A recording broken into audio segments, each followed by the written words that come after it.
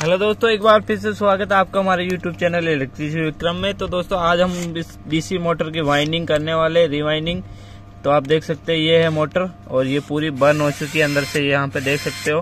तो अभी हम इसको ओपन करेंगे। तो ओपन करने के लिए यहाँ पर ये चार लॉक है, इसके पीछे की साइड में। ये देखिए, ये हमने पहले ऑलरेडी इसको यहाँ से हटा दिया अब इसको हम बाहर निकालेंगे, पूरा इसका जो ये रोटर है, इसको बाहर निकालेंगे। तो इसको यहाँ से थोड़ा मारेंगे तो ये पीछे की साइड बाहर आ जाएगा। ये देखिए, ये इसका जो बहुत सिस्टम है, वो बाहर आ चुका है।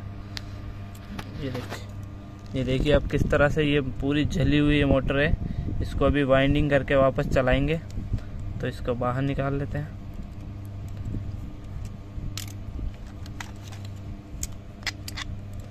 ये देखिए, ये पूरी जली हुई मोटर है। ये आप देख सकते हो। तो सबसे पहले हम ये करते हैं, इसका जितना भी ये वायर है जला इसको बाहर निकाल लेते हैं। तो इसको वायर को बाहर निकालने के लिए हमें यहाँ पर ये देखिए, यहाँ पर ये जो पॉइंट है, इनसे वायर को, ये नाइफ को इस तरह से करके इसको वायर को हटा लेना है। इसको थोड़ा साइड में कर देना है।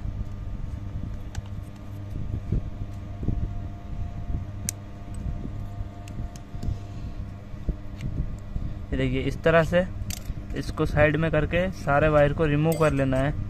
तो मैं इसको रिमूव कर लेता हूँ वायर को। ये देखिए, हमने पूरा इसका ये यहाँ से इसको साइड कर लिया है। ये वायर बाहर निकालेंगे इस तरह से।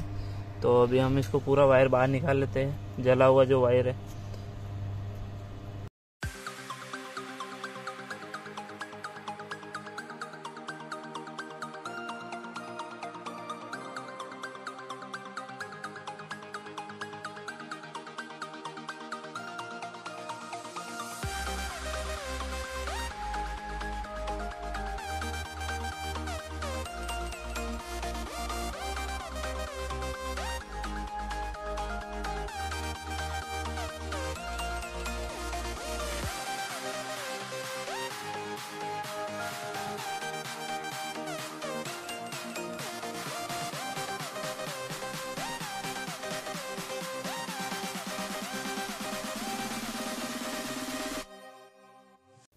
तो अभी हमारा पूरा जला हुआ, पूरा बाहर निकल गया है। अभी हम ये नया वायर लेंगे, इससे वायरिंग करेंगे। ये बाईस नंबर तार है।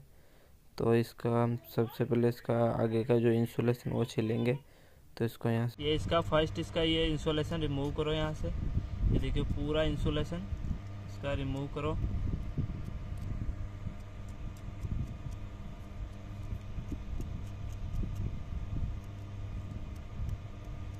ये सारा रिमूव होने के बाद फ़र्स्ट ये जहाँ पर ये देखिए, ये जो स्लॉट है, इसको इधर डालो, यहाँ पर इसको डालिए, यहाँ पे ऐसे, इस तरह से वायर को यहाँ फंसाना है, और यहाँ से देखिए, इसको यहाँ फंसा के इस तरह से इसको पुश करते हैं। इसको यहाँ का यहाँ पे हो गया है।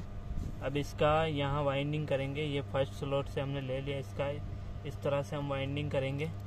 ये देखिए आप टर्न्स आपको यहाँ से इस, यहाँ ले रहे तो यहाँ पर लेना है, एक स्लोट आपको बीच में खाली छोड़ देना है, फिर इसको यहाँ से इस तरह से लेंगे। देखिए।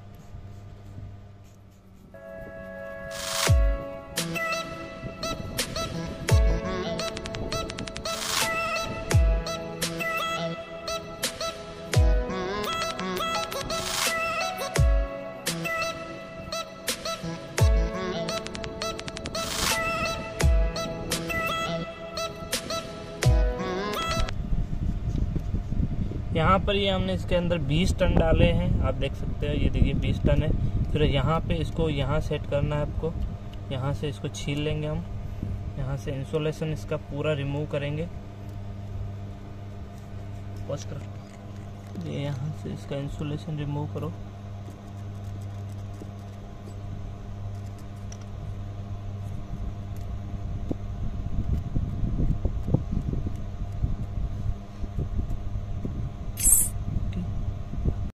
अभी जो मोटर का सेकंड स्लॉट है उसमें फंसा देंगे वायर को और वापस से वाइंडिंग करेंगे। तो इस तरह से आपको अच्छे से फंसा लेना है। फिर आपको दबा के अच्छे से कर लेना है। फिर हम सेकंड वाइंडिंग करेंगे। इसके जो अगले स्लॉट से लेंगे और इस तरह रेगुलर करेंगे।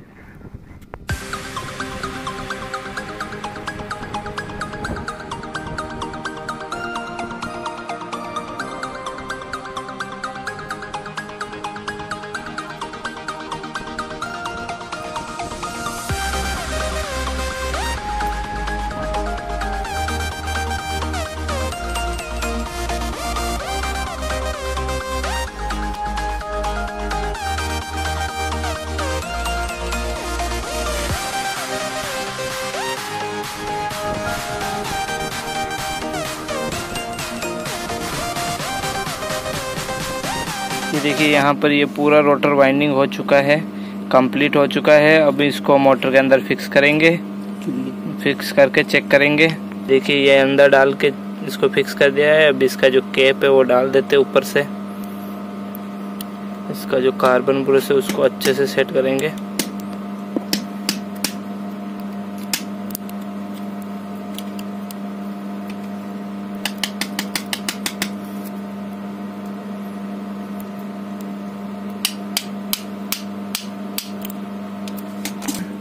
ये मोटर पूरा पैक हो चुका है कम्प्लीटली अब हम इसका टेस्टिंग करेंगे। तो टेस्टिंग के लिए हमें बैटरी का कनेक्ट करेंगे इसके साथ में। ये बैटरी है। इसका टेस्टिंग करेंगे। इसका यहाँ से कनेक्ट करके टर्मिनल को टर्मिनल पर दो वायर लगा देते हैं। कनेक्ट